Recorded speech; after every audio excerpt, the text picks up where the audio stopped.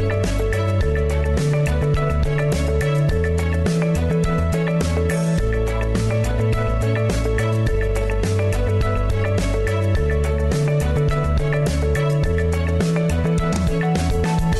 Здравствуйте, в эфире программа «Буду здоров». С вами Мария Рудая. Сегодня мы вместе с врачами М-клиник расскажем вам об аппаратных методах лечения сердечно-сосудистых заболеваний.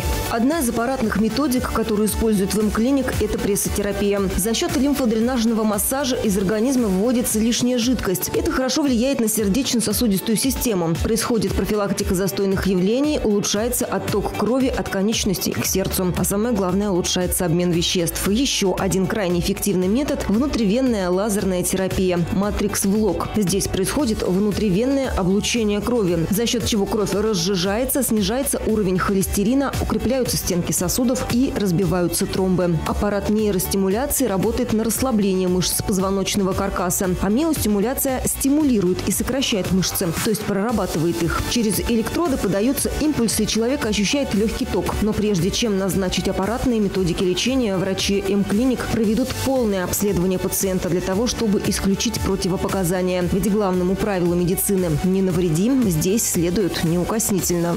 Мы выявляем проблему, доносим его до пациента, а создаем у него а, вот именно предрасположенность такую к лечению, а, значит, э, к, к, к тому, чтобы он наблюдал сам за своим здоровьем. И, и вот если, э, я еще раз говорю, что когда врач и пациент находят общий язык, риск значительно снижается.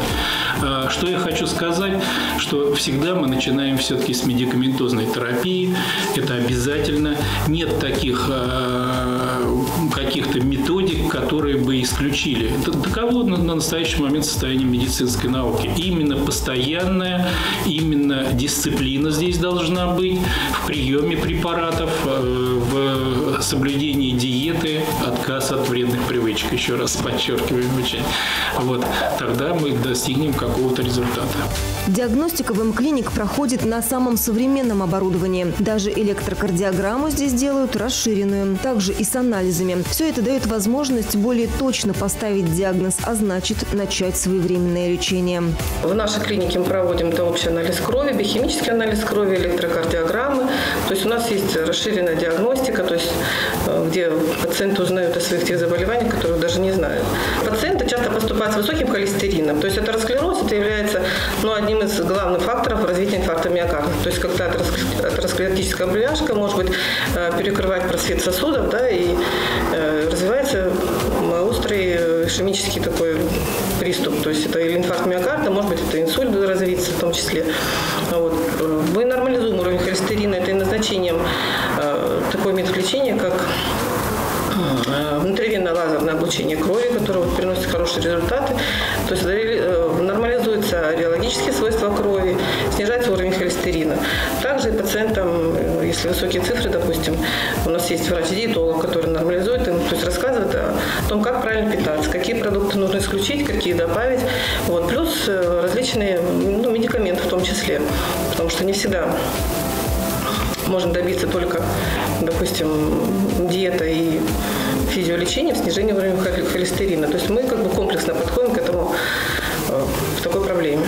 Сохранить здоровье, продлить жизнь и предотвратить новые заболевания. Вот главная цель работы врачей в М-клиник. Напомним, здесь принимают такие специалисты, как травматологи-ортопеды, невролог, остеопракт, терапевт, мануальный терапевт, массажист, эндокринолог. По словам главного врача, здоровье каждого человека в его собственных руках. И только от нас зависит, как мы будем жить в будущем и достигнем ли долголетия. Достичь просто долголетия – это еще не все. Достичь определенного качества жизни – вот какая такая у нас задача. То есть долголетие, оно может быть разное.